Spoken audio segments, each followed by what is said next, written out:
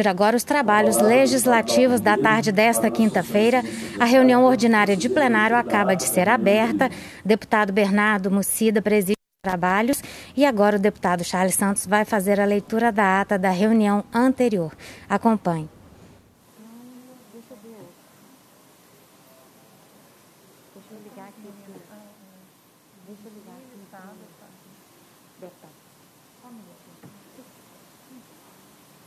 que, que você tem? Não, você pode falar assim, estamos aguardando o deputado fazer essa conexão, vamos aguardar por mais alguns minutos. Vamos aguardar alguns instantes, porque o deputado está com problema de conexão.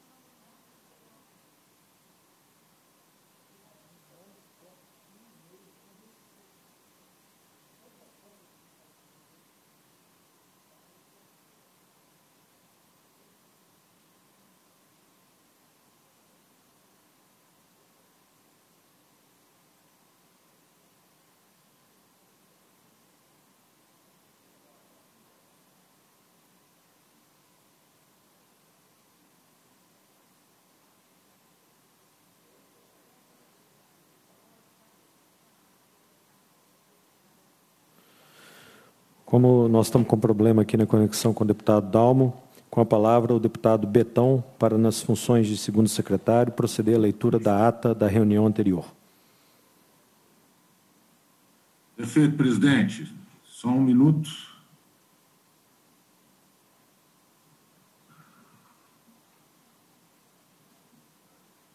Ok. Ata da trigésima. Só um minuto, presidente. Ata da 34ª reunião ordinária da terceira sessão legislativa ordinária da 19ª legislatura em 5 de maio de 2021. Presidência dos deputados Doutor Jean Freire e Charles Santos. Às 14 horas e 11 minutos, havendo número regimental, o presidente declara aberta a reunião. Comparecem os deputados Doutor Jean Freire, Carlos Henrique, Arley Santiago, a deputada Ana Paula Siqueira, o deputado André Quintão, o deputado André Jesus, os deputados Arnaldo Silva, Bartô, a deputada Beatriz Cerqueira, os deputados Bernardo Mucida, Betão, Betim Pinto Coelho, Braulio Brás, Bruno Engler, Carlos Pimenta, Cássio Soares, Celinho Citrocel, Charles Santos, Cleitinho Azevedo, Coronel Henrique, Coronel Sandro, Cristiano Silveira, Dalmo Ribeiro, delegado Elegrilo, Dorgal Andrada, doutor Paulo, doutor Wilson Batista, Duarte Bexir, Elismar Prado, Fábio Avelar de Oliveira, Fernando Pacheco, Gil Pereira, Glaicon Franco, Gustavo Mitre, Inácio Franco, a deputada Ione Pinheiro, os deputados João Leite, João Magalhães, João Vitor Xavier, a deputada Laura Serrano, o deputado Leandro Genaro, a deputada Leninha e os deputados Leonil de Bolsas, Mário Henrique Caixa, Marquinho Lemos, Mauro Tramonte, Neilando Pimenta, Noraldino Júnior, Oswaldo Lopes, professor Cleito, professor Irineu, professor Wendel Mesquita, Raul Belém, Sargento Rodrigues, Sávio Souza Cruz, Tiago Cota, Ulisses Gomes, Zé Guilherme e Zé Reis. O deputado Charles Santos, segundo secretário ADOC, procede à leitura da ata da reunião anterior, que é aprovada sem restrições. Não havendo correspondência a ser lida, a presidência passa a receber proposições e a conceder a palavra aos oradores inscritos para o grande expediente, quando lhes são encaminhados os projetos de lei números 2604, 2649, 2652, 2653 e 2656. Os requerimentos números 7.507, 7.531, 7.999, 7.812, 7.825 a 7.853, 7.855 a 7.864, 7.866 a 7.869 e 7.871-2021, e comunicações das Comissões dos Direitos da Mulher e de Segurança Pública. Proferem discursos os deputados Sargento Rodrigues, Arlen Santiago, Doutor Jean Freire e Cleitinho Azevedo. Não havendo outros oradores inscritos, passa-se a segunda parte da reunião, em sua primeira fase, momento em que o presidente informe ao plenário que foram aprovados nos termos do parágrafo único do artigo 103 do Regimento Interno os requerimentos números 7.812, 7.826 a 7.849, 7.851 a 7.853, 7.855, 7.857 a 7.863, barra 2021. E da ciência das comunicações hoje apresentadas. A seguir são submetidos à votação nominal e aprovados. Cada um, por sua vez, os requerimentos números 549 550, barra 2019, este, na forma do substitutivo número 1, 551, 553, 555 e 927, barra 2019. Este, na forma do substitutivo número 1, 2421 e 2467, barra 2019.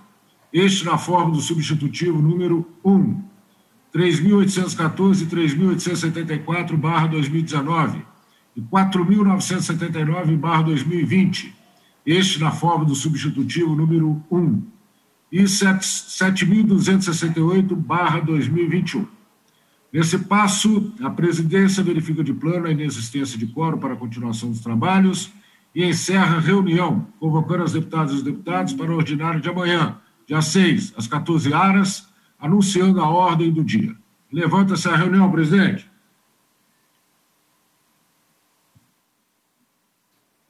Em discussão a ata. Não havendo quem sobre ela se manifeste, doa por aprovada. Com a palavra, o deputado Charles Santos, para, nas funções de primeiro secretário, proceder à leitura da correspondência. Boa tarde, presidente. Boa tarde a todos. Mensagem do excelentíssimo governador do Estado, Romeu Zema, Romeu Zema Neto. Mensagem número 128 de 2021, encaminhando medidas exonerativas adotadas pelo Poder Executivo relativas à proteção da economia no que se refere à concessão do regime especial de tributação em matéria de imposto, de imposto sobre circulação de mercadorias e serviços, ICMS, e sobre prestações de serviços de transporte interestadual e intermunicipal e de comunicação referente ao primeiro trimestre de 2020. Esta é a mensagem, senhor presidente. Obrigado, deputado Charles Santos. A presidência passa a receber proposições e a conceder a palavra aos oradores inscritos para o grande expediente. Com a palavra, o deputado Raul Belém. Senhoras deputadas e senhores deputados, a mesa da Assembleia ressalta a necessidade do uso contínuo da máscara e solicita que a utilizem durante todo o período de permanência no plenário, inclusive quando fizerem uso da palavra.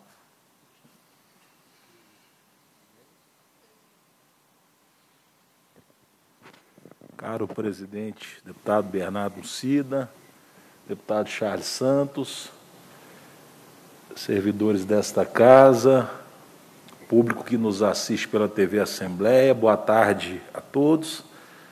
A minha vinda à tribuna desta casa é para falar sobre um projeto que protocolei ontem, homenageando o nosso colega, ex-deputado estadual Luiz Humberto Carneiro, com a rodovia que liga a cidade de Uberlândia, sua terra natal, à cidade do Prata, também uma cidade que o deputado Luiz Humberto tinha um carinho enorme e esse carinho era recíproco por toda a população do Prata, deputado majoritário naquela cidade.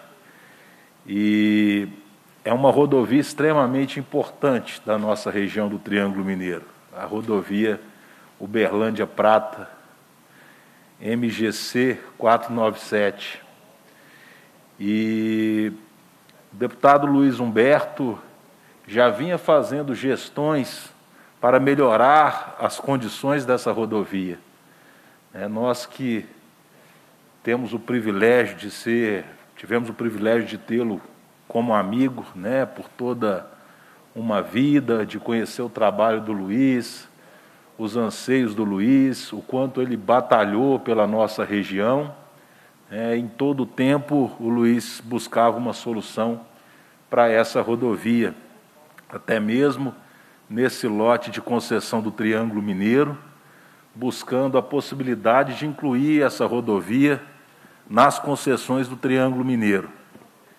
E eu estou aqui para poder dizer né, que é muito importante nós reconhecermos né, o valor desse companheiro, desse grande líder, desse grande homem público, né, que com certeza nos deixa uma saudade profunda, né, nos deixa aí um, um, um vazio né, enorme, mas com certeza é, nós buscamos, através dessas singelas homenagens, assim como nós colocamos o, o nome do bloco, né, o Bloco Sou Minas Gerais, bloco que eu estou como líder, Bloco Luiz Humberto Carneiro. Agora nós esperamos né, a tramitação desse projeto para que a rodovia que liga a cidade natal do nosso querido Luiz Humberto, a querida cidade do Prata, né, possa levar o seu nome. E quero anunciar também uma notícia extremamente importante e toda a honra né, dessa, dessa notícia que eu trago hoje a essa tribuna, dada ao nosso saudoso Luiz Humberto Carneiro que lutou para que isso acontecesse. A rodovia Uberlândia Prata será toda recuperada pelo governo do estado de Minas Gerais. Tive conversando com o secretário de Infraestrutura, Fernando Marcato, que me deu essa notícia de primeira mão, através né, da, do trabalho, através da luta do deputado Luiz Humberto, através da solicitação do deputado Luiz Humberto, a rodovia Uberlândia Prata será recuperada pelo Estado de Minas Gerais. Então é muito importante que nós possamos é, dar celeridade dentro dessa casa ao projeto que trata do acordo da Vale que é um acordo que tem recursos importantes que serão utilizados para infraestrutura no estado de Minas Gerais.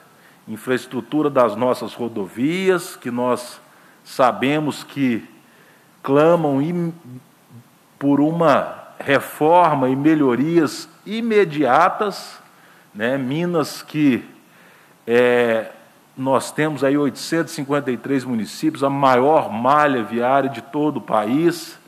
Nós precisamos cuidar disso e precisamos de recursos para salvar vidas que têm sido perdidas pela condição das nossas estradas, é, melhorar a condição de, de trânsito entre o povo mineiro, o povo que passa pelo território de Minas Gerais, as condições das rodovias estão muito precárias. E nós sabemos que é do conhecimento de todos a dificuldade financeira, fiscal que o Estado de Minas Gerais passa, e o Estado tem feito né, o que pode, né, tentado tapar buraco, tentado é, organizar através é, de uma gestão eficiente, né, algumas melhorias nas estradas para elas terem a mínima condição. Mas eu acho que chegou no limite. Né, e o Estado nos apresenta uma solução que também não é para todo o estado de Minas Gerais, né? são as rodovias em pior estado. Né? Tomara que a gente consiga buscar caminhos e soluções para poder é, resolver aí pelo menos 4 mil quilômetros de estradas em Minas Gerais que precisam ser recuperadas de uma forma imediata. É, acredito que esse valor que está aqui hoje né, na, na Assembleia né, do, do acordo da Vale é algo que é insuficiente. Né? Nós teremos condições de, de fazer talvez mil quilômetros Mas essa é uma questão que nós precisamos pensar, né, unidos com o governo do Estado de Minas Gerais e buscar solução para as rodovias mineiras. Né? É um Estado produtor, um Estado que necessita das suas, é, não só das vias já pavimentadas, mas nós também precisamos pensar nas rodovias que são muitas ainda que não estão pavimentadas. Muitos projetos parados, obras paralisadas, é, projetos que é, foram paralisados em governos passados, e eu acho que é momento né, de retomarmos isso, né? é momento de retomarmos esse, é, esse trabalho para melhorar as condições da rodovia, das rodovias de Minas Gerais e, consequentemente, né, do nosso da nossa economia, né, que é boa parte o agronegócio, né, que encontra dificuldade em escoar a sua produção. Né. Nós temos aqui também, e eu acredito que deve ser instalada no, nos próximos é, dias, né, ou talvez no próximo mês, a Comissão Pró Ferrovia, que é coordenada é, e presidida pelo querido deputado João Leite, que faz um trabalho excepcional. É, nós precisamos dessa integração rodovia e ferrovia em Minas Gerais, né, para que nós possamos é, ser um, um, um terreno cada vez mais fértil para a aquisição de novos negócios, novos empreendimentos e novos investimentos no estado de Minas Gerais. Né? Nós precisamos pensar nisso já, né? isso é, requer toda a atenção dessa casa. Mas é, o motivo maior é para homenagear o querido deputado Luiz Humberto Carneiro, que nos faz uma falta enorme para nós que somos seus colegas e para todo o povo de Minas Gerais. E eu tenho certeza que o deputado Luiz Humberto, através da sua atuação e do seu carisma, ele teve a oportunidade de sentir o reconhecimento e o carinho do povo mineiro em vida, em vida. Isso eu tenho absoluta convicção, que ele se sentia um homem muito querido, respeitado e honrado. E cabe a nós, né, tratar com muito carinho esse legado, esse amor que ele deixou por Minas Gerais e pelo povo mineiro. Que Deus abençoe a família do deputado Luiz Humberto, a sua esposa Sara, as suas filhas, né, e nós esperamos né, é, ter a oportunidade de fazer essa singela homenagem a um gigante né, a um ser humano gigante, a um homem público gigante que merece todo o nosso carinho. Muito obrigado, senhor presidente. Parabéns, deputado Raul Belém, pela brilhante e justa homenagem. Passa a presidência ao deputado Charles Santos.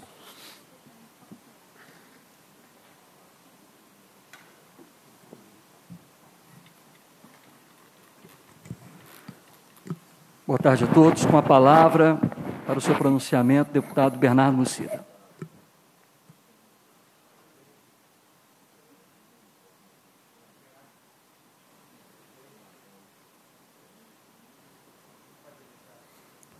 Senhor presidente, deputados e deputadas que estão acompanhando nossa sessão, o público que também acompanha pelos canais da Assembleia Legislativa de Minas. É, hoje eu venho até a tribuna né, da Assembleia para tratar de um tema relevante para o Estado de Minas Gerais e que demanda, mais uma vez, a intervenção do governo de Minas e da Assembleia Legislativa. E eu trato aqui especificamente sobre a questão das barragens da, decorrentes da mineração e de remoções que têm acontecido uh, por pessoas atingidas ou potencialmente atingidas uh, por essas barragens. Eu queria recordar aqui, uh, no ano de 2019, no mês de fevereiro, A comunidade de Socorro, que fica em Barão de Cocais, ela foi acordada no meio da madrugada pelas sirenes e essa, essa população teve que abandonar sua casa, suas casas, seus pertences. Muita gente naquele momento ali é, saiu apavorado, até descalço, e a verdade é que desde então, boa parte dessas pessoas não voltaram para suas casas. São 155 famílias, cerca de 500 pessoas que foram desalojadas, que ficaram abrigadas em hotéis e muitas delas ainda lutam para ter as suas indenizações pagas pela Vale, no caso dessa barragem, uh, pela Vale. E amanhã, amanhã, na próxima, na sexta-feira, está marcada uma audiência de conciliação no Tribunal de Justiça de Minas Gerais, exatamente para tratar dessa questão. Então eu venho aqui para mais uma vez cobrar da Vale, especialmente, que tenha transparência, que tenha agilidade. Não é possível que as famílias vão demorar aí dois anos para poder ter o seu direito de ter sossego, de ter uma vida, de ter uma casa restabelecida. Infelizmente, isso tem acontecido. E agora, ainda na semana passada, eu que sou de Tabira, já disse aqui, fui surpreendido por uma informação que circulou na imprensa local sobre a remoção de 300 famílias uh, em dois bairros da cidade, no bairro Bela Vista e no bairro Nova Vista. Felizmente, no caso uh, de Itabira, não foi uma remoção feita na correria, pela madrugada, mas que também vai impactar diretamente essas famílias. Eu, na segunda-feira, eu fiz uma reunião com parte da, das famílias que estão é, na área que deverão ser removidas. A remoção, no caso de Tabira, ela se faz necessária diante da nova legislação que impõe o descomissionamento das barragens, é, e essa remoção ela precisa ser feita em acordo com a comunidade. Né?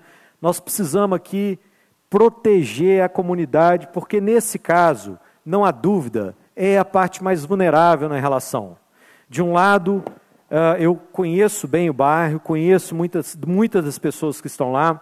São pessoas que mudaram para essa região na década de 60, de 70, de 80, e que quando mudaram era um bairro bonito, que tinha ali uh, um, uma área com um rio passando no fundo de suas casas, um campo de futebol, enfim, uh, mata e pouco a pouco a Vale veio ocupando esse terreno, foi construindo e ampliando as suas barragens, e nesse momento lá, é, hoje é um dos diques da barragem do Pontal. Seguramente a barragem do Pontal, uma das maiores barragens do mundo, uma barragem que tem cerca de 220 milhões de metros cúbicos de rejeito. Para comparar aqui, a barragem de Brumadinho, que estourou, era uma barragem de 12 milhões de metros cúbicos, uma barragem quase 20 vezes maior e que deverá ser descomissionada pela Vale. Qual que é o nosso pedido aqui? Em primeiro lugar, obviamente, através da Comissão de Minas e Energia, da qual eu faço parte, nós estamos oficiando vários órgãos do Estado, a Vale, a ANM, uh, pedindo esclarecimento. E por que, que eu falo sobre isso? Porque eu fui na comunidade para conversar com as pessoas e perguntei para eles: o que vocês estão sabendo? Eles disseram: Nós não temos notícia do que vai ser. A gente vive um verdadeiro pesadelo, deputado. Eu, eu conheço casas que estão abaixo do nível da barragem e tem uma placa na porta da casa dizendo rota de fuga. É uma casa que está a cerca de 30, 40 metros da barragem e o morador, com muita simplicidade, me disse: Eu acho que eles colocaram isso aqui na, minha, na porta da minha casa para me torturar psicologicamente eu não consigo dormir em paz com a minha família aqui, porque eu sei que se tiver um problema na barragem, antes de eu conseguir chegar na porta da minha casa, eu já fui devorado pela lama. E esse é um sentimento que, infelizmente, ele aflige a todos aqueles que são vizinhos de barragem. São estruturas que, de fato, precisam ser descomissionadas. Nós entendemos que a Vale busca cumprir essa, essa função, mas ao mesmo tempo isso tem que ser feito, eu repito aqui, com transparência, com agilidade, respeitando os moradores, com responsabilidade social. Em pleno ano de 2021, cada vez mais as empresas, não só no Brasil, mas no mundo todo, precisam de ter um, uma, um respeito com as comunidades onde atuam, com o meio ambiente, com governança. Cada vez mais isso é cobrado nas bolsas de valores de todo mundo, e eu tenho certeza que a Vale também tem o interesse de atender esses padrões internacionais em suas operações. Portanto, o que a gente quer aqui é que haja esse respeito, que haja esse relacionamento com direto com a comunidade, com total transparência. E, finalmente, quero também solicitar, o município de Tabira, apesar de ser um município com 120 mil habitantes, não tem instalado uma defensoria pública estadual, que é uma função do Estado de Minas Gerais e que até então não está disponível na, na cidade. E é fundamental a participação da Defensoria Pública para auxiliar essas famílias. A Defensoria Pública precisa estar ali, porque são famílias que precisam desse apoio, exatamente porque elas não têm o mesmo grau, é, tanto de informação e quanto de assessoria técnica, para negociar de igual para igual com a Vale.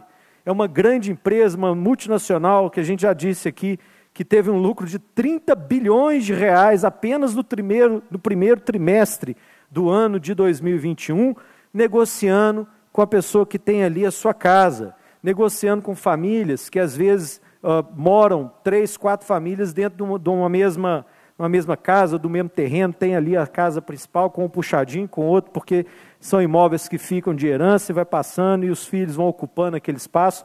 Então, esse é o, o nosso pedido aqui. Transparência por parte da Vale. Aliás, transparência que precisa ser fundamental, que precisa ser é, é, ponto central em qualquer relação, sobretudo quando se fala de barragem. Ainda ontem saiu uma decisão judicial dizendo que a Vale omitiu a existência de 12 barragens no, no estado de Minas.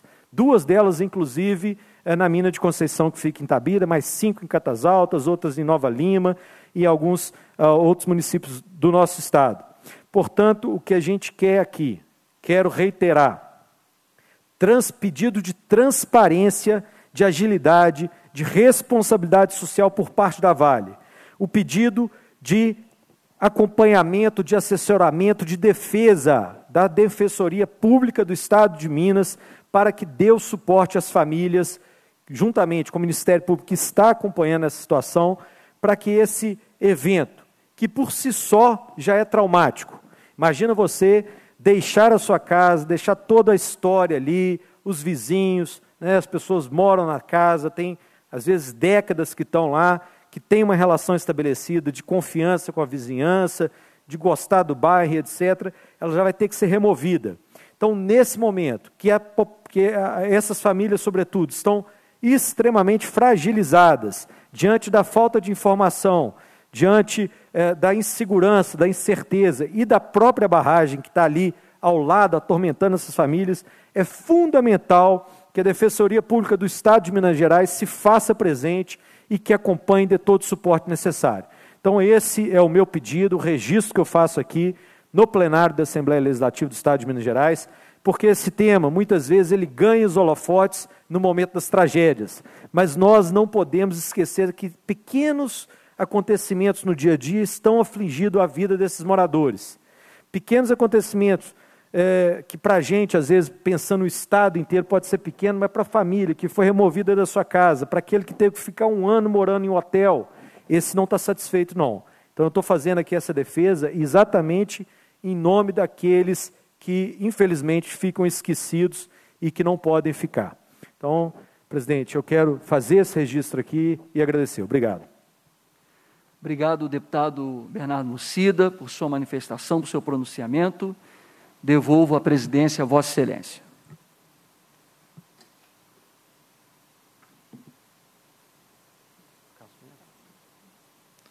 Com a palavra, o deputado Carlos Pimenta, para o seu pronunciamento.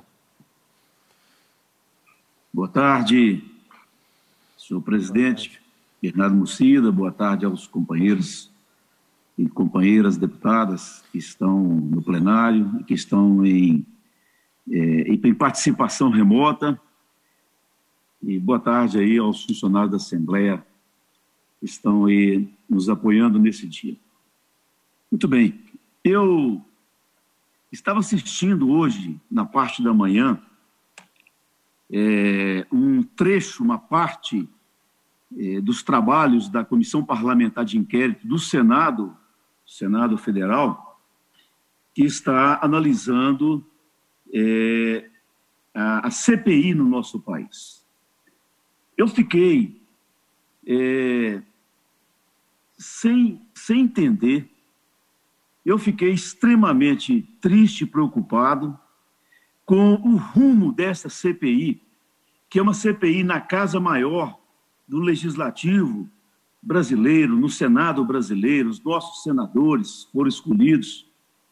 E eu fiquei é, muito, mas muito triste mesmo, como brasileiro, pelo, pelo menos o, o tempo em que eu assisti a CPI e que veio confirmar é, essa lamentável participação dos senadores brasileiros nessa comissão parlamentar de inquérito.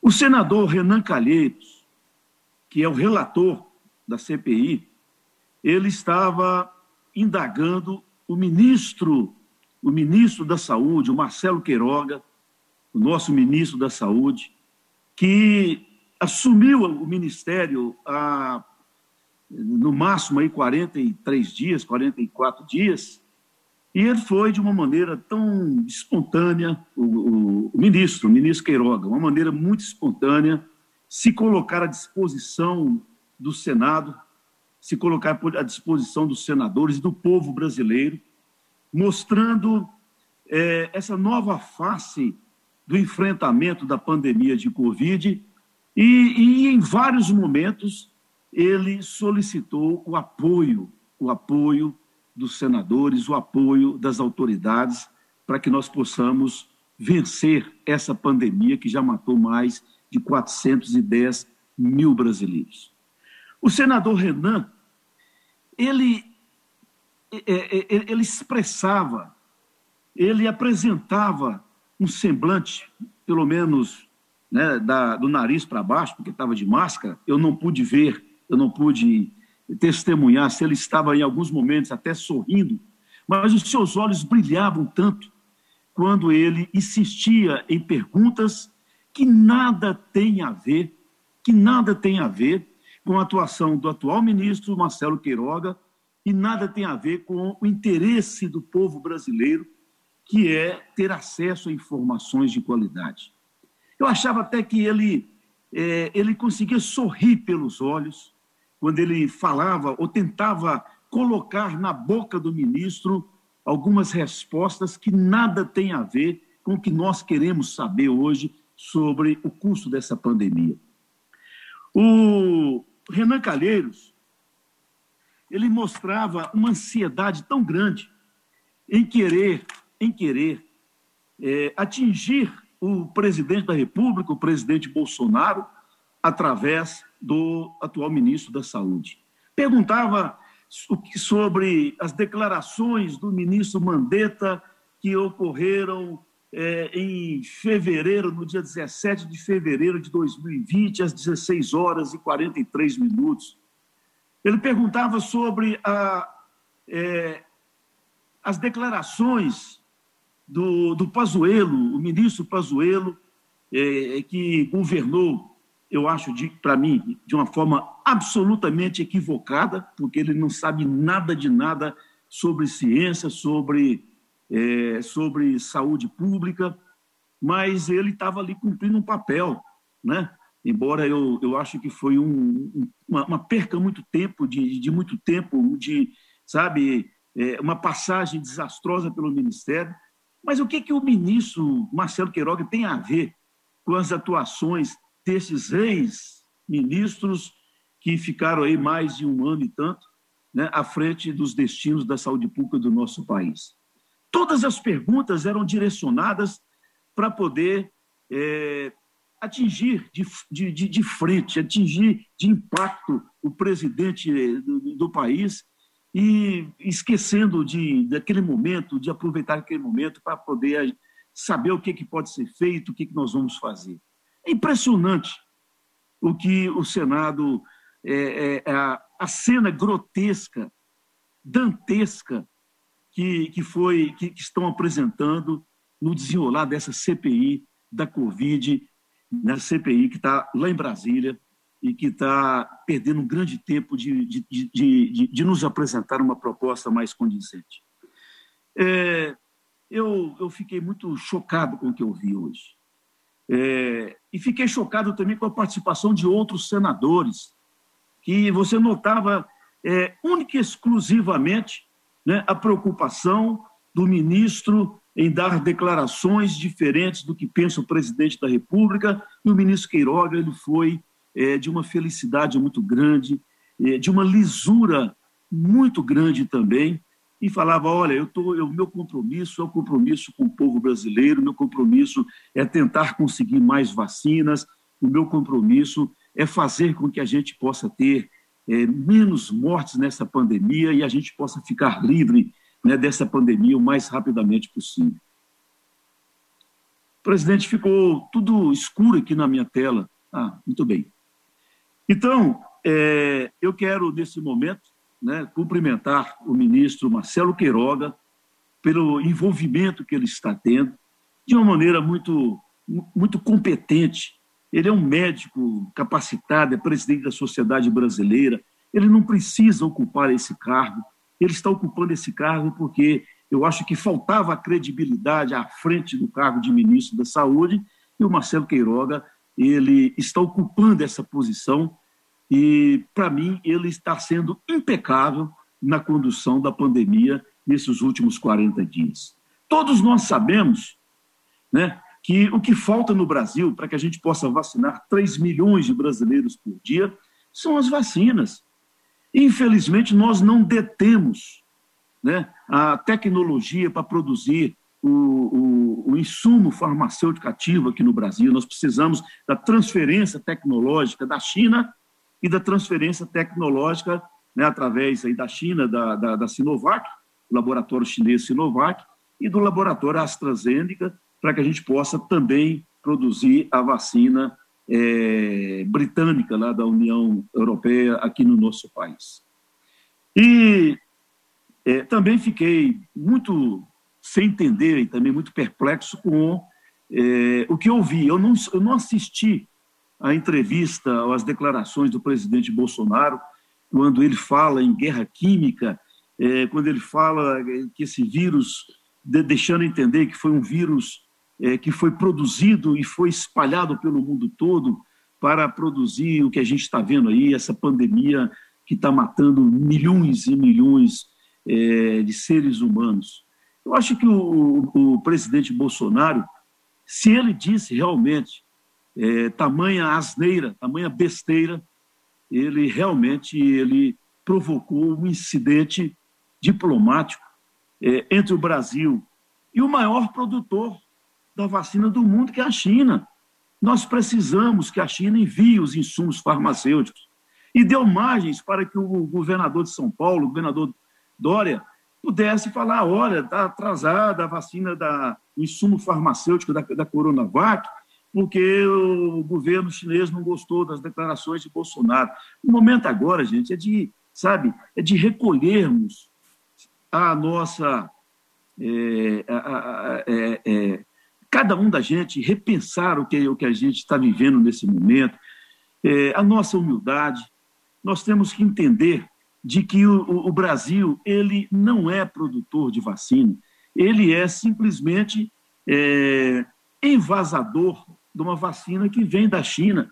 Nós só seremos produtores da vacina quando nós tivermos ou a nossa vacina, a vacina brasileira, e temos tecnologia para isso, inclusive aqui em Minas Gerais, através da Universidade Federal eh, de Minas Gerais, ou se nós recebermos o, o, o insumo básico lá da China, que vem em tonéis, milhares de litros desse insumo, e aí sim o Butantan e a Fiocruz elas vão produzir a vacina, vão envasar essa vacina e vão distribuir essa vacina para a população brasileira. Também eu vi ontem uma declaração do presidente Biden defendendo a quebra de patentes das vacinas que existem hoje no mundo, para que os países mais pobres possam ter a vacina em quantidade e há tempo de evitar essa carnificina que a gente está vendo aí, essa mortandade sem precedentes de milhões de pessoas no mundo todo. Né? Agora mesmo a Índia está passando dos 400 mil infectados por dia e vai alcançar aí tranquilamente 10, 1 milhão de infectados por dia, 10 mil mortes por dia, porque é um país muito grande, de um povo muito humilde. A, a, a Índia deve ter 800 milhões de indianos que vivem num estado de miserabilidade. E tem lá seus 500, 800, 600, 800 milhões de pessoas que pertencem a uma classe mais abastada, uma classe mais é, mais privilegiada. Então, as pessoas vão morrer. É muita gente que estão aglomerados lá na Índia. É, enfim, a gente está vendo o que está acontecendo no mundo todo. Quebrar a patente desses laboratórios multibilionários, multinacionais, trilionários, não é feito de um dia para outro. Pode até quebrar a patente, mas a tecnologia desses laboratórios que detêm, é, é, que detêm é, as informações científicas, ela não vai ser repassada. Oh, quebrou a patente é, da Pfizer nos Estados Unidos e a partir de agora o Brasil pode produzir a vacina da Pfizer. Não é assim que as coisas funcionam. Eu acho até, eu até defendo, eu defendo a quebra da patente, mas desde que haja transferência de tecnologia. A França aderiu agora à proposta do Biden, a Organização Mundial de Saúde aderiu à proposta do Biden.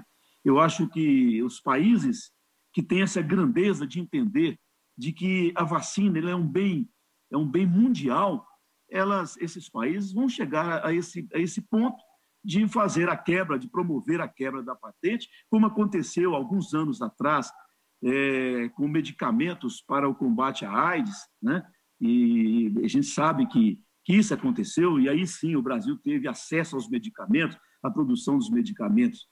Mas eu, eu prefiro um bom acordo do que uma atitude tomada de uma maneira muito brusca, porque esses laboratórios que investiram bilhões para produzir a vacina, eles não vão passar isso de uma hora para outra, vão recorrer à Organização Mundial da Saúde, à Organização das Nações Unidas, é, às cortes internacionais. Isso vai passar seis meses, isso vai passar um ano, vai passar dois anos, vai passar, vão passar vários anos, né, até que a gente tenha essa tecnologia. Nós precisamos da vacina agora. Nós precisamos que o presidente ele repense no que ele está dizendo, né? Mesmo que, que isso tenha, é, vamos dizer assim, é, fundos de verdades ou indícios de verdade de que é, foi um vírus fabricado, isso, aquilo, isso, isso também serão décadas para se, se provar é, é, essa afirmação do, do, do presidente Bolsonaro. Então, nós precisamos da Índia, nós precisamos da, da China, nós precisamos da transferência da tecnologia, nós precisamos das vacinas que estão prontas para que a gente possa vacinar os nossos, os nossos irmãos brasileiros. Eu já fui vacinado, esperei o meu momento, estou com 66 anos de idade, fui recebi a primeira dose da Coronavac e 28 dias depois recebi a segunda dose, que aconteceu agora no dia 2 de maio. Né? Aqui em Montes Claros, Montes Claros está com a vacinação vamos dizer assim, bem avançada. Hoje já estamos vacinando as pessoas de 60 anos e vamos iniciar a vacinação das pessoas com comorbidade. Mas precisamos ter a vacina. Então, com todo o respeito eu tenho ao presidente Biden, né, já, que ele, já que ele apoia a quebra das patentes, então vamos começar com a quebra da patente lá da Pfizer, lá dos Estados Unidos, da Moderna dos Estados Unidos, né, lá da, da AstraZeneca lá do Reino Unido, que é parceiro do, do, do, dos Estados Unidos, mas que se transfira também a tecnologia. Não adianta a gente é, é, fazer parte de um movimento mundial, apoiar o movimento mundial, porque nós vamos ficar muito tempo sem ter acesso a essa tecnologia, mesmo com a patente quebrada. Então, nós precisamos receber os insumos farmacêuticos no Brasil e precisamos, no segundo semestre, produzir esses insumos para que a vacinação deslanche aqui no nosso país e possamos vacinar todos os brasileiros e todas as brasileiras. Muito obrigado. Obrigado, deputado Carlos Pimenta. Parabéns aí mais uma vez pelas relevantes contribuições. Com a palavra, deputada Andréa de Jesus. Peraí. Presidente, só um instante que estou melhorando o áudio. Boa tarde, presidente. Boa tarde, colegas deputados e deputadas. Acho que é a primeira vez, né, deputado, assumindo a presidência. É, quero saudar Vossa Excelência também e dizer que eu me inscrevi, presidente, colegas, para trazer, para denunciar uma situação grave uma situação grave que vem se repetindo no Brasil durante anos. Eu vi o seu pronunciamento falando das mineradoras, verdadeiras colonizadoras, presentes em terras brasileiras, tirando totalmente a nossa soberania, não contribuem nada para a nossa economia, muito pelo contrário, acaba é contribuindo para a migração de interessados para dentro do parlamento para defender, às vezes, interesses que de longe chega ao interesse do povo. E eu estou aqui para denunciar isso também, né? A violência no campo sempre foi um problema, um problema muito sério. Nós estamos aí às vésperas da data é, em que foi assinada a Lei Áurea, e um dos principais objetivos de lembrar o 13 de maio é denunciar essa situação, né? No Brasil, um Brasil, um país que leva o nome de uma mercadoria que durante muito tempo foi traficada, e toda essa realidade permeia o nosso, nosso dia a dia e afeta a mim, afeta o senhor e afeta todos nós, que é a concentração de terra na mão de poucos, né? O poder ainda está concentrado em meia dúzia de latifundiários que continua massacrando pessoas, massacrando. É, nós temos uma Constituição que, infelizmente, os artigos que defendem propriedade têm muito mais força do que os artigos que defendem a vida, né? Tanto é que a gente vê o quanto o Estado se aparelha para defender esses grupos que nem sequer conseguem comprovar a propriedade da terra, né? São verdadeiros invasores, mas infelizmente nós temos um Estado é, que se dobra diante desses latifundiários, desses grilheiros, que passam de pai para filho, as mesmas famílias, famílias, inclusive, que marcaram no corpo da, dos meus antepassados o nome é, de suas terras, né?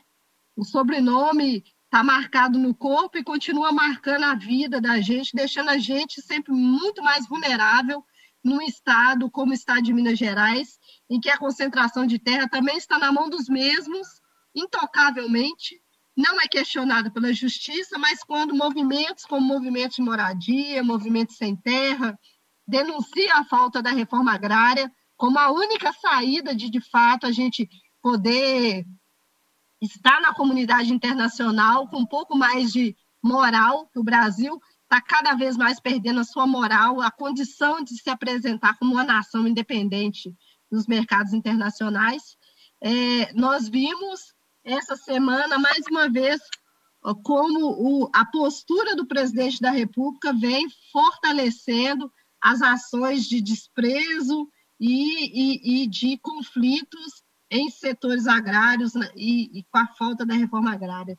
Nós vimos é, é, o avanço de debates de, de reconhecimento de ações de grilheiro como ações legítimas, legais, está sendo debatido a nível federal, mas também o quanto vários indígenas morreram nesses últimos meses, vítima de Covid, porque o próprio governo federal não foi capaz de garantir o isolamento dessas terras que vivem o tempo todo sendo atacadas pelos mesmos grupos, os mesmos sobrenomes que a gente não precisa dizer aqui. E terras quilombolas, né? Cada vez mais eu tenho acompanhado no estado de Minas Gerais a situação deplorável do, dos povos quilombolas, que, reconhecida na Constituição de 88, continua sendo massacrados, perseguidos por, é, por latifundiário, pessoas que têm mais amor ao boi do que a ser humano. Isso é inadmissível, né? Nós estamos aqui falando de várias mortes cotidianamente por falta de oxigênio, e tem gente que ainda que gasta um pouco de oxigênio, que respira, para defender o agronegócio, que mata, mata com veneno, mas também mata com essa ganância de concentração de terra como forma de concentração de poder, sabendo que depois que vai debaixo da terra, não leva a terra. Não leva nada de que foi concentrado. Mas a gente sabe o quanto tem muita gente fazendo isso e perseguindo os trabalhadores e trabalhadoras.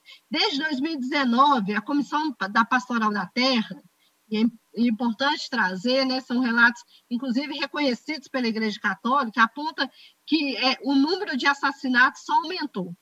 Então, não só o isolamento social, mas a pandemia não serviu de consciência para que esses grandes latifundiários continuassem a perseguir, perseguir de forma miliciana é, trabalhadores e trabalhadoras sem terra que é, é, ocupam terras que não cumprem a função social, que estão na ilegalidade e são perseguidos é, com esses com esses xerifes que ainda vivem aqui no estado de Minas Gerais.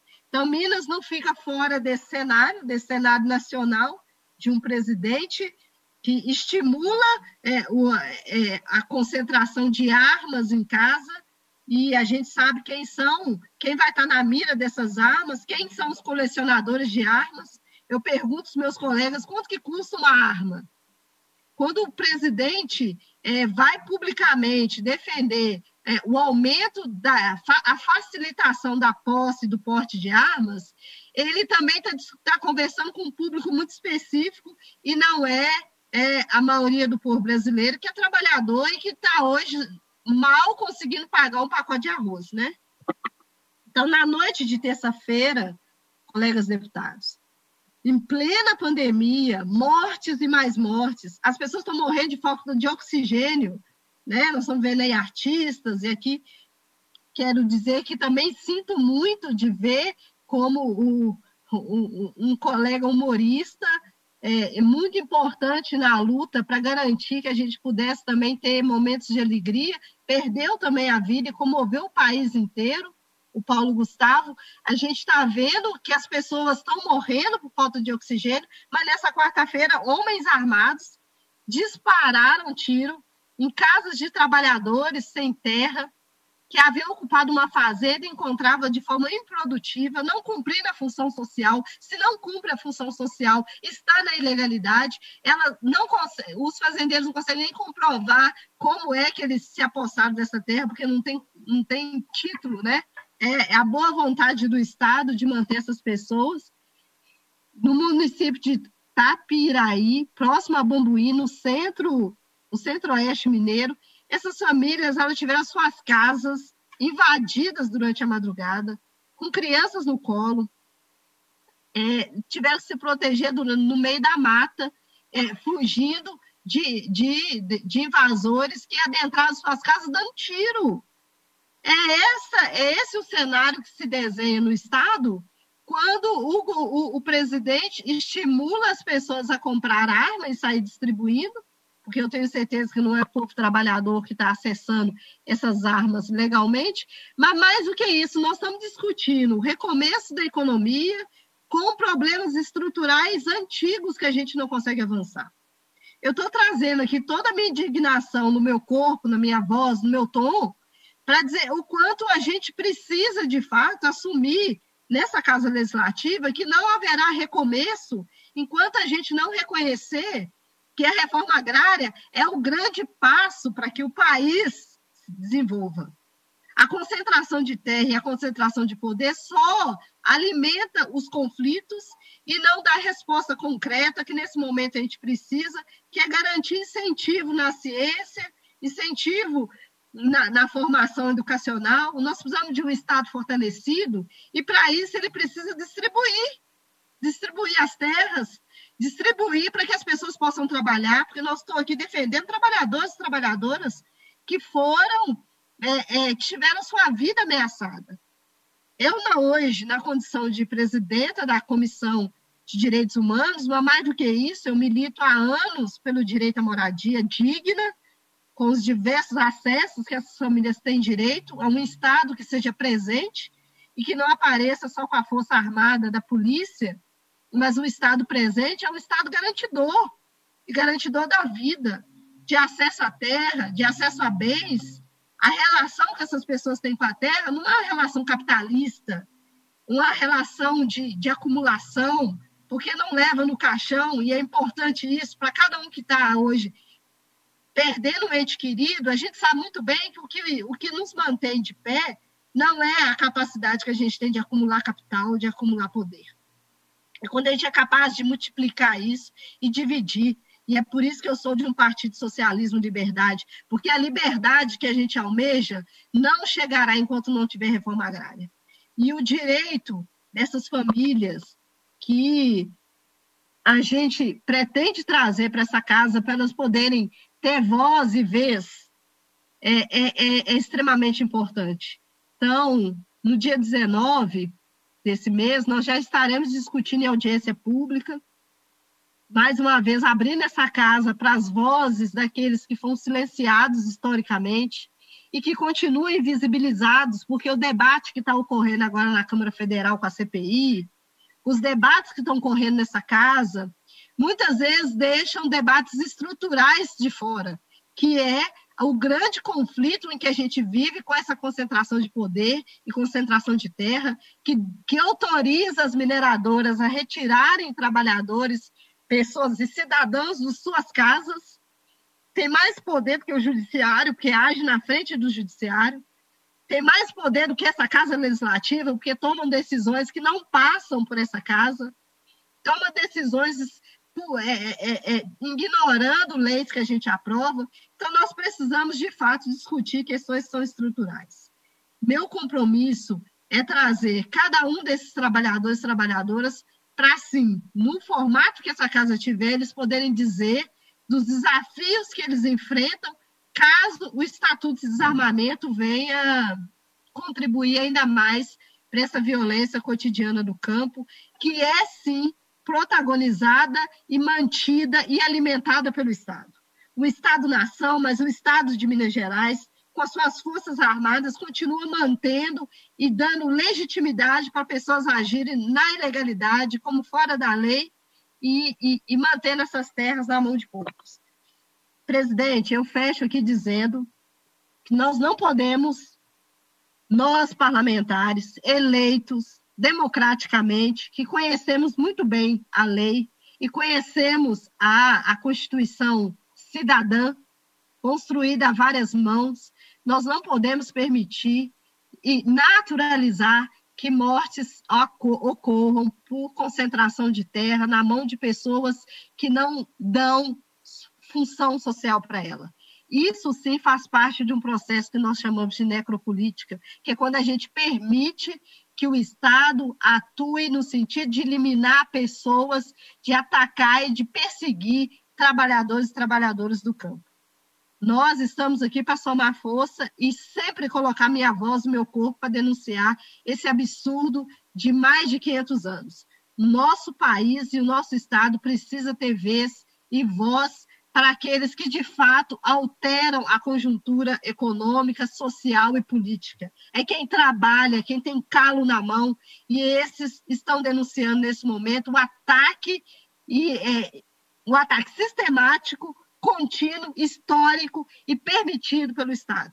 Então, me coloco à disposição para construir sim processos de conciliação, mas que de forma alguma a gente deixa de fora o papel do Estado, o Estado, o Estado de Minas Gerais, na reparação histórica de negros e negras, e principalmente dos povos originários e dos, eh, dos remanescentes quilombolas, que também estão sofrendo com essa concentração. Essas são as minhas contribuições nessa tarde, presidente, agradeço. Obrigado, deputada André de Jesus. Com a palavra, o deputado Betão.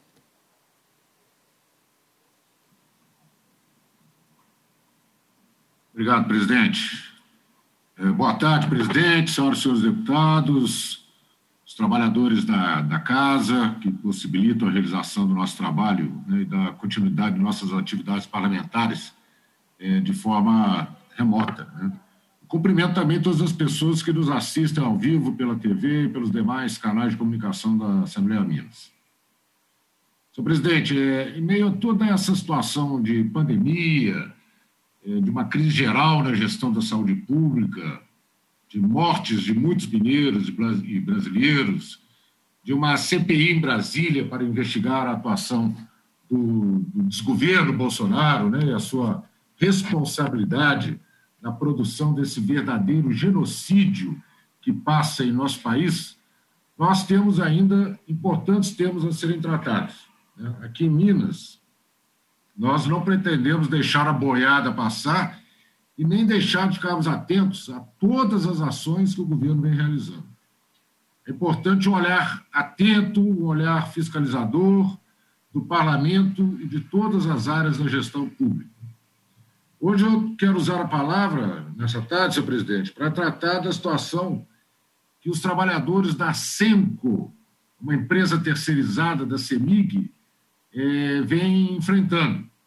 Chegou ao nosso gabinete, através do Sindeletro, Sindicato dos Eletricitários né, de Minas Gerais, é uma denúncia da absurda e lamentável situação dos trabalhadores desta empresa terceirizada que estão com seus salários atrasados há três meses. Vou repetir, presidente: três meses de salário atrasado. É inadmissível, é inaceitável uma situação dessa. A, CEMIG, ao contratar uma empresa terceirizada, ela não está completamente isenta do que acontece com os trabalhadores que executam os serviços. Nosso entendimento é que, ao estabelecer contratos de serviços terceirizados, a contratante, no caso a CEMIG, ela deve prever cláusulas e garantias para o cumprimento de obrigações trabalhistas, de legislações ambientais, de segurança do trabalho e um conjunto de orientações sobre a natureza do serviço a ser é, é, executado. Só para os senhores terem, e as senhoras terem uma ideia, é, os trabalhadores, né, os servidores que trabalham em projetos como execução de linhas, de transmissão de, de distribuição em, em, cidades como Pirapora, São Romão, Braúnas, Naque, Salinas, Tabueiras, entre diversas outras é, cidades, são esses trabalhadores que estão com seus salários é, atrasados. Por esta razão, senhor presidente, eu apresentei o um requerimento na Comissão do Trabalho para que a CEMIG apresente, primeiro, cópia do contrato assinado com a SEMCO, para que possamos identificar as cláusulas que estabelecem as garantias e obrigações que a contratada deve cumprir em relação à legislação trabalhista e outras garantias sociais. Nós queremos verificar também se existem cláusulas nesse contrato que permitam à CEMIG reter repasse de recursos financeiros para cumprimento das obrigações trabalhistas e pagamento de salários desses trabalhadores terceirizados. Porque, se existir, senhor presidente, nós vamos acionar a diretoria da empresa para que ela realize tal ação. Eu apresentei também um requerimento para que a CEMIG informe os valores repassados à SEMCO nos últimos 12 meses. Nós queremos apurar as obrigações e responsabilidades de todos os envolvidos nessa situação. E um outro requerimento ainda é sobre uma audiência pública a ser realizada na Comissão do Trabalho para tratar desse, desse assunto.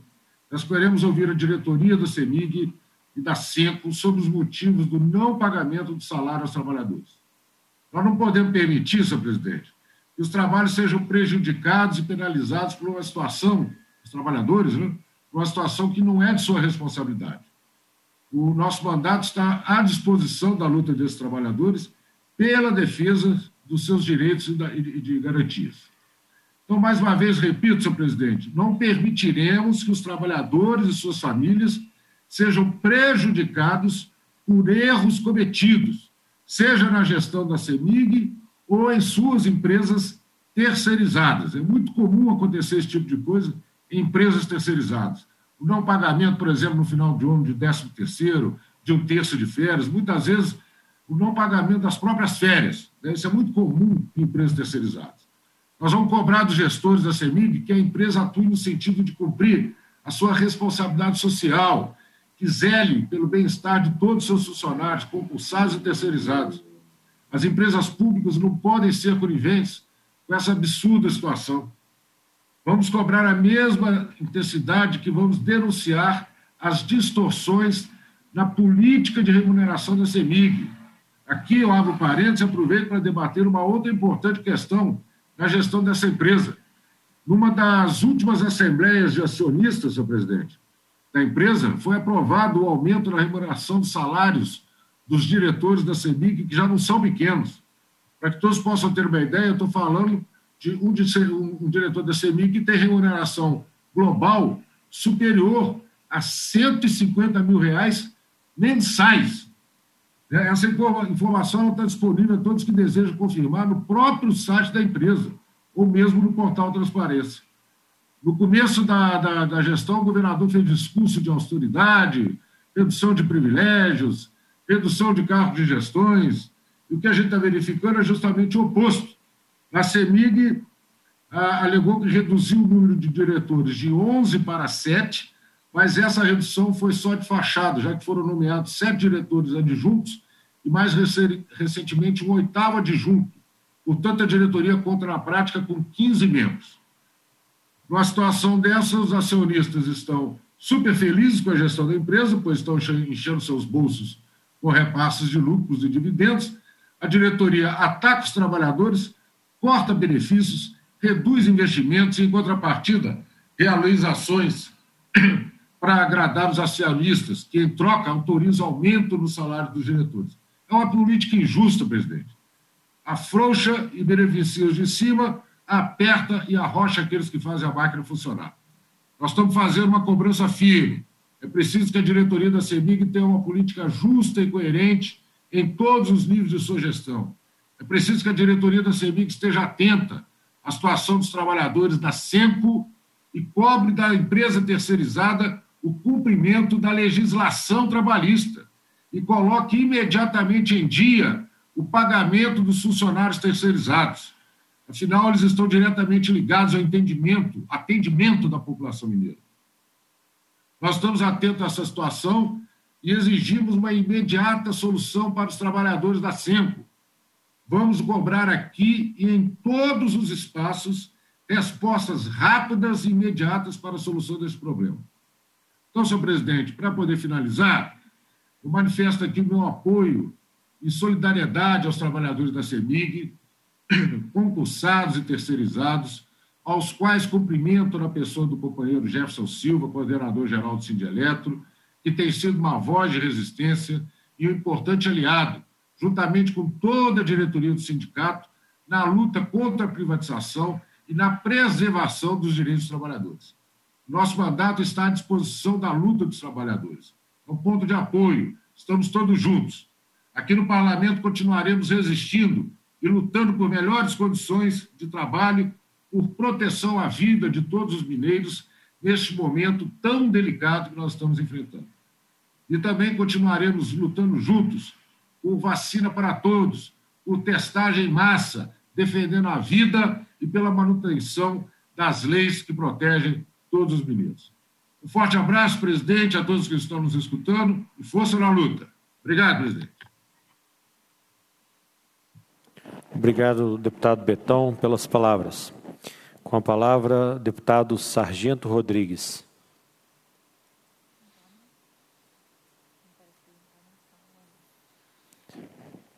Com a palavra, deputado Sargento Rodrigues.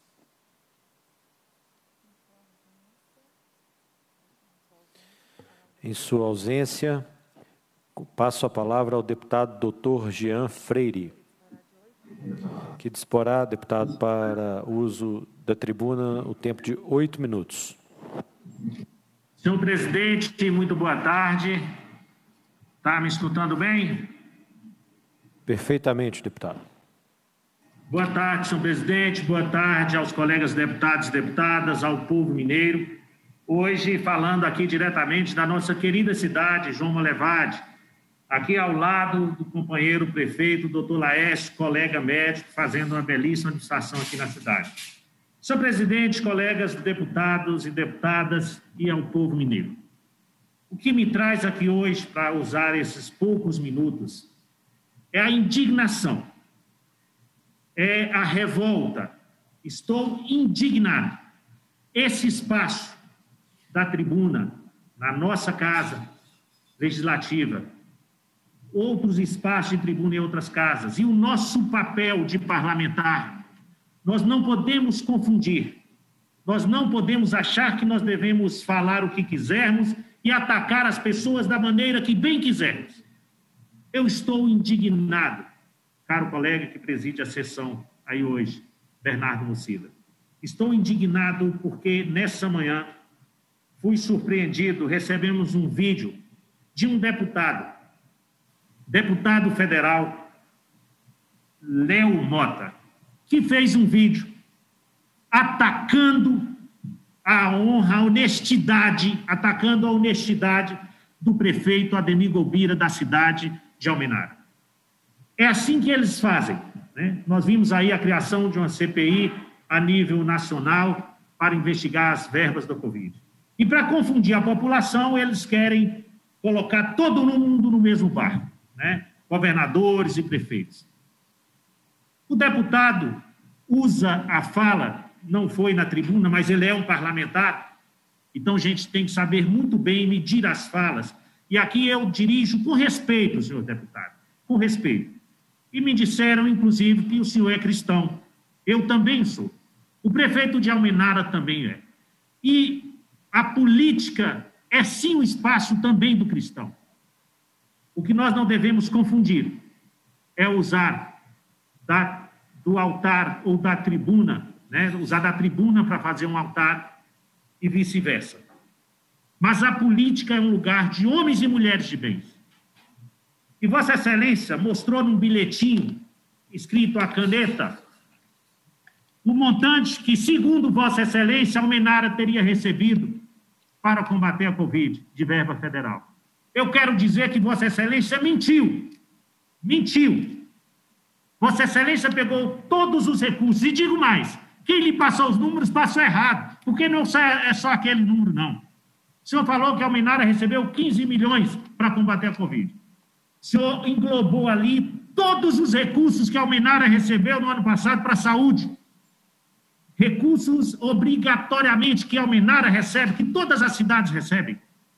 Então, isso é uma mentira. E te digo mais: foi mais do que aquele recurso que recebeu para a saúde, não para combater a pandemia. Recebe, a Almenara recebeu, e o prefeito fez questão de prestar conta, 21 milhões 814 mil 871 reais e 65 centavos. Está aqui Está aqui. Vossa Excelência disse que se era verdade ou não que tinha recebido, mas antes de procurar que era verdade, atacou. Atacou. Né? Isso é leviandade. Isso não é correto nós usarmos no nosso espaço de políticos e parlamentares para fazer isso. Vossa Excelência disse que iria investigar. Eu, vou, eu convido Vossa Excelência. Eu moro no Vale de Jequitinhonha. Eu atuo naquela cidade também como médico, já atuei e, e volta e meia também vou dar plantão naquela cidade como médico, para combater a pandemia, enfrentamento à pandemia. Então vamos parar, vamos parar, para tentar esconder políticas de aglomerações, políticas de não usar máscara, política de não vacinação, acha melhor confundir a cabeça do povo. Então eu quero aqui me dirigir com respeito que tenho a cada um morador de Almenara. Vocês sabem o prefeito que tem, reeleito com 85% da votação da cidade. Vocês sabem o prefeito e o divisor de águas que foi a administração Ademir Gobira e companheiros aliados e aliadas. Vocês sabem. Almenara tem uma política antes e depois do Ademir Gobira. Homem íntegro, honesto, que pela manhã está na prefeitura cumprindo o seu trabalho. Agora, deveria falar, senhor parlamentar, deveria especificar, especificar. Você coloca como se na cidade não tivesse uma medicina, uma saúde de excelência. Eu o convido, vamos lá, vamos lá, vamos adentrar ao Hospital Deraldo Guimarães, vamos adentrar ao hospital que faz um belíssimo trabalho. Mas eu peço, inclusive, para o senhor ir, como eu faço todo final de semana, de carro, não de avião, para o senhor ver as péssimas condições das estradas. E, quem sabe, o senhor, como deputado federal, possa cobrar do, governo federal que nós vemos cobrando né, para a BR-367. Então, deputado, o senhor foi muito infeliz na sua fala. O senhor foi muito infeliz. isso é o erro que todos nós podemos cometer, mas que temos que tomar cuidado para não cometer esse erro ao receber determinadas denúncias, que com certeza foi fruto da oposição do prefeito Ademir Gobira, ao receber denúncias, simplesmente atacar. O senhor disse no seu áudio, no seu vídeo, que queria fiscalizar, que ia apurar. Eu chamo Vossa Excelência, eu chamo Vossa Excelência, vendo aqui o companheiro Mauro Tramonte nos assistindo, que trabalha na, hora, na, na área de jornalismo, companheiro, eu chamo Vossa Excelência, vamos lá juntos, pela estrada, a hora que o senhor quiser. Eu lhes convido para que o senhor conheça uma administração séria e honesta, como temos muitos prefeitos sendo atacados nesse momento. Então, para o companheiro, se assim posso lhe chamar, em respeito, vamos medir as palavras. Vamos medir as palavras. E queria atacar sem ter provas, procurasse saber antes. Está aqui para todos entenderem. Está aqui os recursos que a Almenara recebeu para a saúde. Recursos muitos esses frutos de emenda parlamentar. Como nós estamos colocando lá agora na saúde, mais de um milhão de reais. Recurso fruto de emenda parlamentar. Então, eu quero chamar os colegas deputados e deputadas, independentes de agremiação partidária, mas que sabem o papel que o prefeito de Amenara faz, né? e não concordar, não concordar com esse tipo de política. Há poucos dias atrás eu vi reportagem, e se estou enganado peço desculpa, que Vossa Excelência queria que a Polícia Federal é, fosse lá é, fazer cumprir o que um juiz do STF tinha dito, que era para os templos abrirem, para aglomerar pessoas. Me desculpem com todo respeito, não é isso que Deus quer de nós, não. Cada um de nós é um templo, é um templo sagrado, com certeza. E nós temos que cuidar de cada um de nós para cuidar também dos outros, daqueles que amamos. Então, senhor presidente, senhor me desculpa a tonalidade de indignação. A palavra é essa. Muito obrigado. Obrigado, deputado Jean, doutor Jean Freire, pelas palavras. Esgotado o prazo destinado à primeira parte, a presidência passa à segunda parte da reunião com a primeira fase da ordem do dia, compreendendo os atos da presidência, as comunicações e apreciação de pareceres, requerimentos e indicações. Estão abertas as inscrições para o grande expediente da próxima reunião.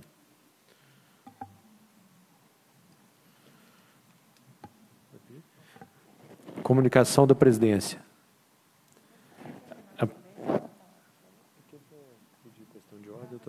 Você descobriu ter gritado no seu gabinete, a presidência comunica que foram aprovados conclusivamente, nos termos do parágrafo único do artigo 103 do Regimento Interno, os requerimentos número 7.879 a 7.881 de 2021 da Comissão de Direitos Humanos, 7.882, 7.884 de 2021 da Comissão de Fiscalização Financeira, 7.886, 7.887, ambos de 2021, da Comissão de Segurança Pública.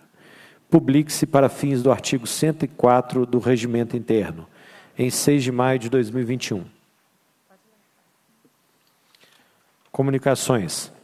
As comissões permanentes comunicam a apreciação conclusiva de matéria nas seguintes reuniões: Comissão de Meio Ambiente, reunião extraordinária de 5 de maio de 2021.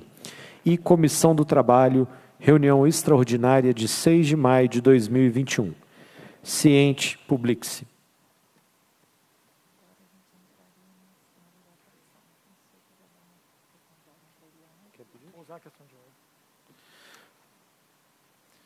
Votação dos requerimentos. Votação do requerimento número 2289 de 2019 da Comissão de Defesa do Consumidor. A mesa da Assembleia Legislativa opina pela aprovação do requerimento.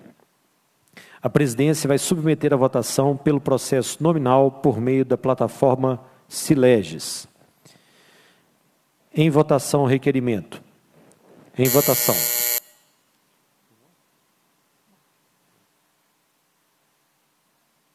Requerimento que pede ao diretor da ARSAI, a Agência Reguladora de Serviços de Abastecimento de Água e Esgoto, e também à presidente da Copasa, informações e estudos do Índice de Qualidade de Água disponibilizada para a população da cidade de Timóteo.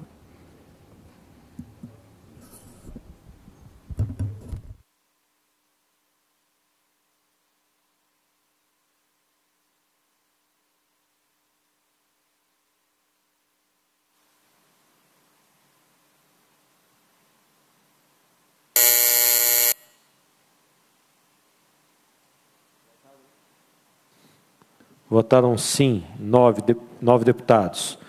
Nenhum deputado votou não, zero branco em votos, zero, zero votos em branco. Está aprovado o requerimento. Questão de ordem, presidente.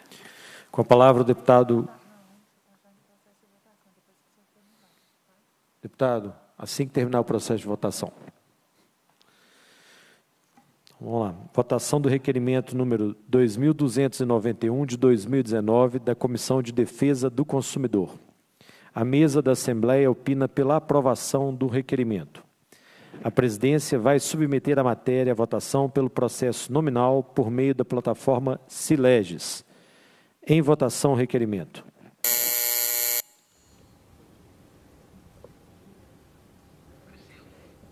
Agora os deputados votam requerimento que pede à Copasa e à ARSAI pedido de informações sobre a área de abrangência da futura é, da futura estação de tratamento de esgoto, a ET, tanto na cidade de Timóteo como em Coronel Fabriciano, indicando as regiões e os bairros que estarão sob a cobertura dessa estação de tratamento de esgoto.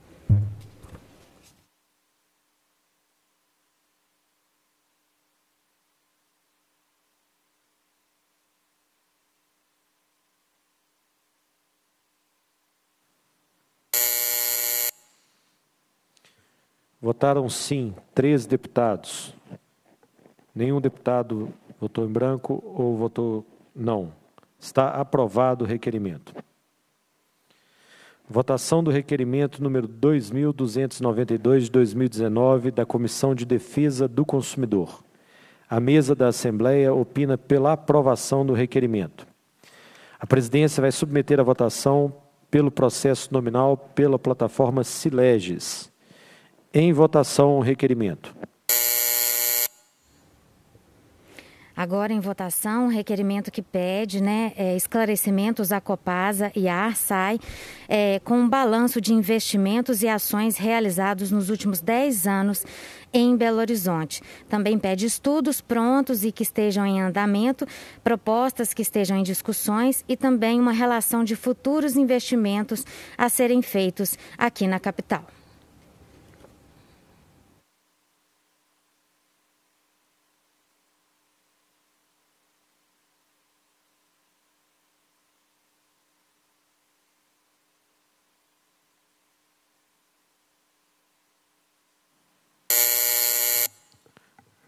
Votaram sim 12 parlamentares, nenhum voto em branco, nenhum voto negativo. Está aprovado o requerimento. Votação do requerimento número 2817-2019 da Comissão de Cultura. A mesa da Assembleia opina pela aprovação do requerimento. A presidência vai submeter a, a matéria à votação pelo processo nominal por meio da plataforma Sileges. Em votação, o requerimento. Agora os deputados votam um requerimento que pede ao Instituto Estadual do Patrimônio Histórico de Minas, o IEFA, informações sobre a existência de ações ou de estudos para instituir mecanismos de salvaguarda da escultura do Juquinha, que fica na rodovia MG 010, né, em Santana do Riacho, uma área que integra o Parque Nacional da Serra do Cipó.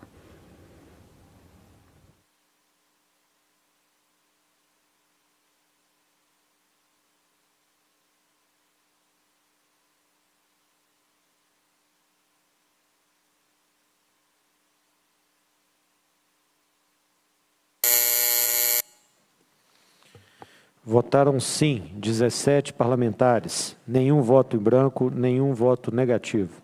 Está aprovado o requerimento. Votação do requerimento número 2889 de 2019 da deputada delegada Sheila. A mesa da Assembleia opina pela aprovação do requerimento com a emenda número 1 que apresenta.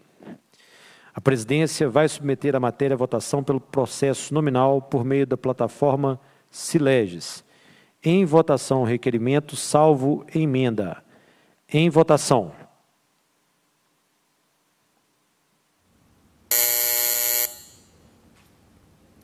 Agora, os deputados votam um requerimento que pede ao secretário de Estado de Segurança Pública informações sobre a quantidade de agentes penitenciários que atuam no presídio da cidade de Machado. Pede também o número de detentos que está no local e se existe alguma previsão de contratar novos profissionais para trabalharem no presídio.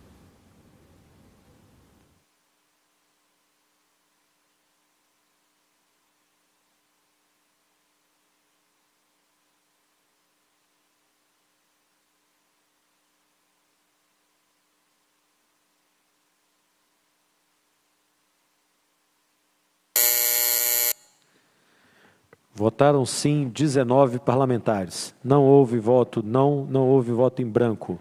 Está aprovado o requerimento, salvo emenda.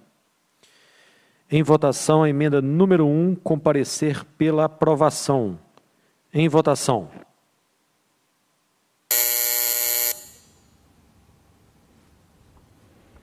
Os deputados agora votam uma emenda sugerida ao requerimento da deputada delegada Sheila. Ela quer mais informações sobre o estado em que se encontra o presídio de Machado. É, deseja saber né, o número de detentos que está no presídio, o número de é, policiais penais que cuidam lá do presídio, do presídio e se há uma previsão de contratar novos profissionais.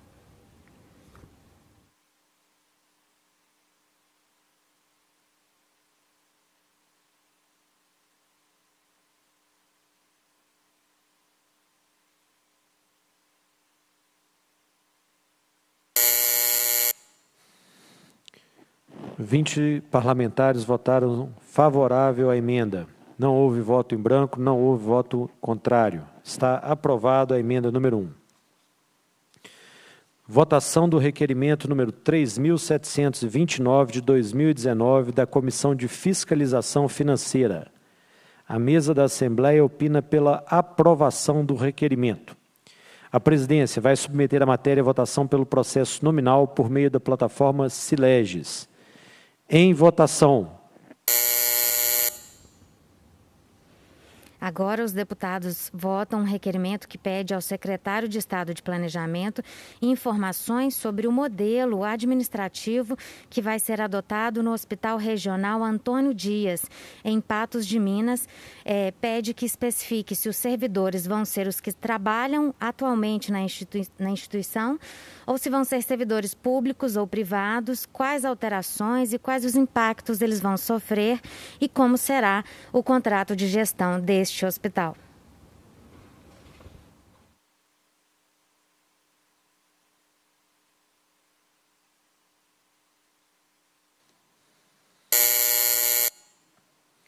Votaram sim 17 parlamentares. Não houve, voto, não houve voto em branco, não houve voto contrário.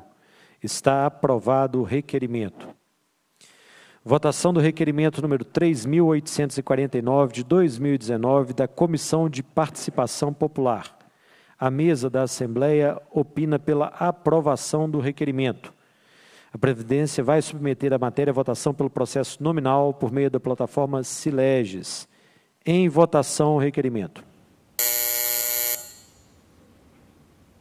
Agora em votação o requerimento que pede ao diretor da Emater, a empresa, empresa de assistência técnica e extensão rural de Minas, informações sobre o planejamento das ações da empresa para recompor os seus quadros, notadamente no que se refere aos classificados no último concurso público, tendo em vista a atual situação fiscal do Estado.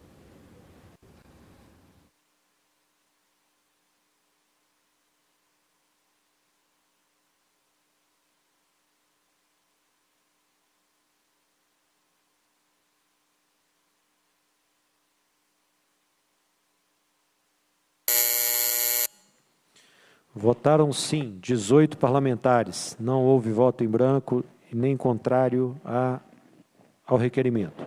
Portanto, está aprovado o requerimento.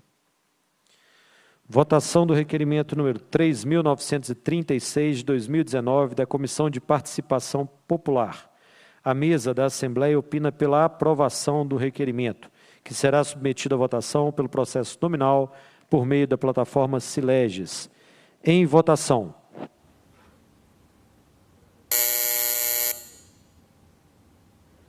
Agora em votação o requerimento que pede ao presidente da Copasa e também da Copanor informações sobre a execução do programa Pró-Mananciais.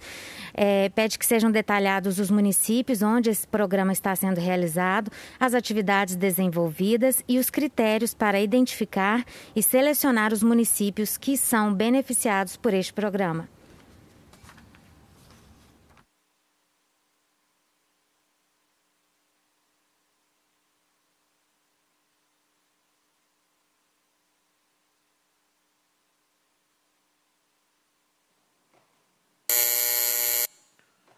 Votaram sim 18 parlamentares. Não houve voto contrário, não houve voto em branco. Está aprovado o requerimento. Votação do requerimento número 6.287 de 2020 da Comissão de Segurança Pública. A mesa da Assembleia opina pela aprovação do requerimento na forma do substitutivo número 1, que apresenta a presidência vai submeter a matéria à votação pelo processo nominal por meio da plataforma Sileges. Em votação, o substitutivo número 1. Um.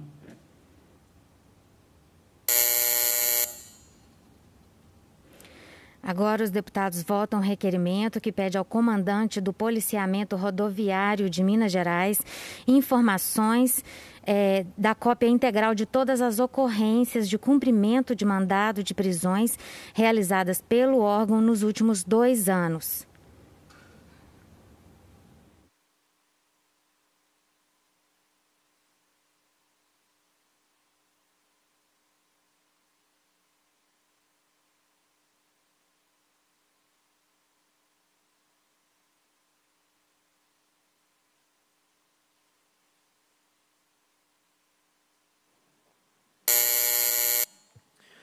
Votaram sim 17 parlamentares. Não houve voto em branco, não houve voto contrário ao requerimento. Está aprovado o substitutivo número 1. Votação do requerimento número 7594 de 2021 do deputado Bruno Engler. A mesa da Assembleia opina pela aprovação do requerimento na forma do substitutivo número 1, que apresenta a presidência vai submeter a matéria à votação pelo processo nominal por meio da plataforma Sileges. Em votação, o substitutivo número 1. Um.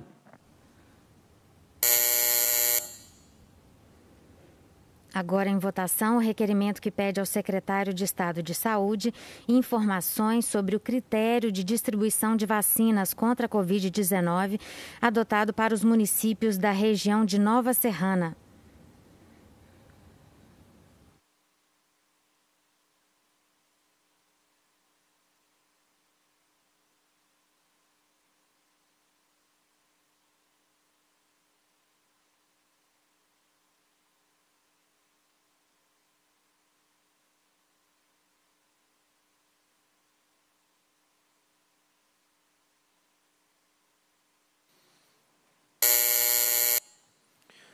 Votaram sim 19 parlamentares. Não houve voto em branco, não houve voto contrário ao requerimento. Está aprovado o substitutivo número 1. Com a palavra o deputado Cleitinho, que sustou questão de ordem. Boa tarde, senhor presidente. Boa tarde a todos os deputados e deputados e público presente aqui, servidores dessa casa e a população mineira que acompanha a gente pela TV Assembleia. Venho na, usar o pronunciamento aqui agora, senhor presidente, pedindo a colaboração, né, a atenção de todos os deputados. Passaram mais uma semana e a gente ainda não colocou aqui o projeto do acordo da indenização da Vale. Não podemos ficar de joelho para a Vale. Né? Quero aqui reconhecer ao Estado, ao governador Romeu Zema, ao Ministério Público, ao Judiciário, que não se acovardou pela Vale, né? fez a Vale cumprir essa indenização e está aqui na Assembleia já tem quase três meses. Fizeram até cerimônia para o governador mandar esse projeto aqui para nós deputados, e já tem três meses. Está aqui eu toda semana falando a mesma coisa e não vejo andamento nenhum para essa questão. Vejo deputados aqui, deputadas falando sobre questão de teste em massa, né, vacina também. Esse acordo pode, ó, esse acordo pode ajudar. A gente está falando de, de, hospitais regionais que estão que parados, que esse acordo possa ir para os hospitais regionais, como o Hospital Regional da minha cidade, Divinópolis, né, que está abandonado há mais de 10 anos, outros hospitais como Sete Lagoas, como Teofotone. Então, esse acordo, além de poder indenizar as famílias né, de Brumadinho, indenizar as famílias que foram atingidas pela, pela essa tragédia da, da Vale, também contempla também quase todo o Estado. Então, cabe a nós aqui ter esse entendimento, peço aqui a atenção dos, dos presidentes das comissões, todas as comissões que vai passar esse projeto, para poder agilizar isso o mais rápido possível, gente. A gente não pode ficar de joelho para Vale aqui, não. Está toda semana eu falando a mesma coisa aqui, pedindo a atenção dos deputados. Passou mais uma semana e não, não, não adiantou nada. Sabe, o governo que tinha que fazer, secretário de governo, o Igor, o, Igor, o que eles tinham de fazer, fez, fez o acordo com a Vale, não se ajoelhou, não se acovardou pela Vale, está fazendo a Vale pagar esses 39 bilhões, que não é mais que obrigação da Vale, e cabe a nós, nós deputados aqui agora, aqui, ter essa atenção em votar. Ou a gente vai ficar de joelho para a Vale aqui, ou a gente vai aceitar isso aqui. Sabe? Então, se a gente precisa dar uma resposta para a sociedade, uma resposta para o Estado, sabe, para poder aprovar isso o mais rápido possível. Então, peço aqui a atenção de todos. Sei que o nosso presidente Agostinho Patus quer votar esse projeto, então cabe a nós, deputados aqui. Tenho certeza que o presidente Agostinho Patus está doido para votar esse projeto o mais rápido possível. Então, cabe que as comissões aqui, que, que têm esse projeto em mãos aqui, fazer o que tem que fazer e colocar em plenário para votar. Outra coisa, gente, algum deputado que quiser votar contra aqui, é só pegar e votar, é só sim ou não. Está simples de resolver esse problema da Vale. Quem achar que, que a Vale não deve indenizar o Estado nos 39 bilhões, olha que vi um projeto que vota não. Eu vou votar a favor. Eu quero que esse dinheiro é mais que obrigação. E esse dinheiro, além para a família, que as famílias precisam ser indenizadas, como eu disse, tem infraestrutura aí para a área da saúde. Tem hospitais aí que podem ser contemplados agora aí, ó, e acabar com essa espera de fila. Então vamos olhar isso com carinho, sabe? Peça atenção aqui de todos os deputados, 76 deputados. Vamos provar esse projeto que dá a cor da Vale. Outra situação que eu quero colocar aqui, senhor presidente, que eu acho que é muito importante, está chegando o dia das mães, e eu já estou ouvindo já muitas mensagens recebendo aqui, falando que depois do dia das mães, o comércio vai fechar de novo. Né? Que já está tendo já uma, não sei, né, um planejamento para fechar o comércio. Quero deixar bem claro, né, para prefeitos, inclusive o meu irmão que é prefeito da minha cidade, governadores, né, até o STF, para político que ficar nessa de fechar comércio, já mostrou né, que o comércio não é ocupado.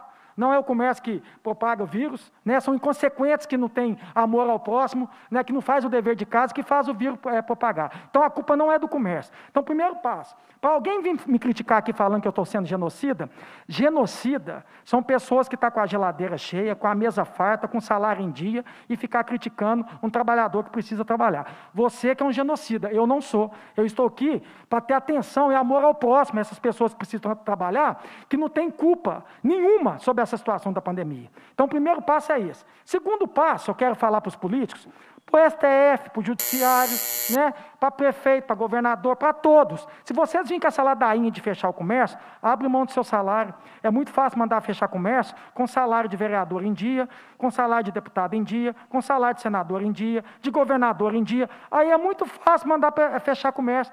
Então peço para vocês tomarem vergonha na cara. E para aquela pessoa que vai me criticar falando aqui que eu quero que o comércio fique aberto, não faça compra do dia das mães, viu?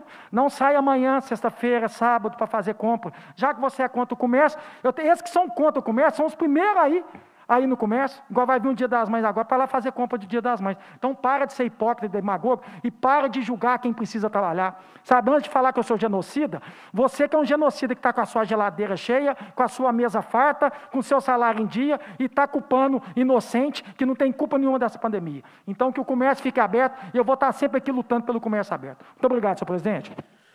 Obrigado, deputado Cleitinho, pelas considerações.